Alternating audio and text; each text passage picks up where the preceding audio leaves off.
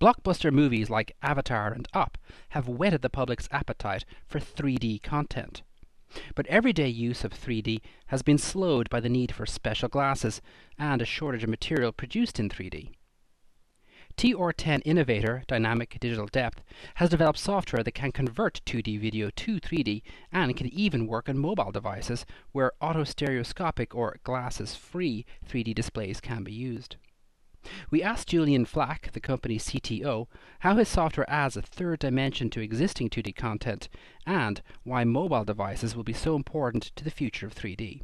Hi, I'm Julien Flack and I'm the Chief Technology Officer of Dynamic Digital Depth or DDD and we're based here in our Perth, Western Australian office where we have our, our software and uh, R&D and engineering resources. Our software essentially analyzes the video stream and looks at effects like motion, uh, the motion of particular points, the motion of particular objects.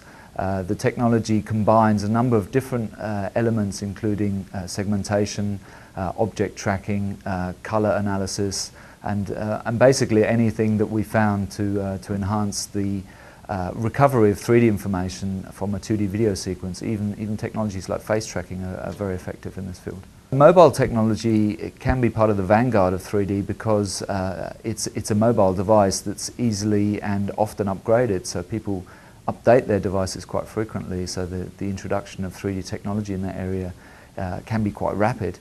And also the technology that can be deployed on a mobile phone where you can hold the thing in your hand is quite different to the technologies that are perhaps more relevant in the, in the 3D TV market. Uh, you know, glasses-free technologies, for example, work particularly well in the mobile market because you can easily adjust your viewpoint. Well, there's many, many opportunities for, for 3D. Uh, it's really a new way of, of seeing information uh, when you go back to the fundamentals. And uh, that opens many doors. I think entertainment is really going to be the, the main area of application to begin with, but uh, medical applications are already seeing interest in 3D. Um, I think it's, it's pretty much limitless.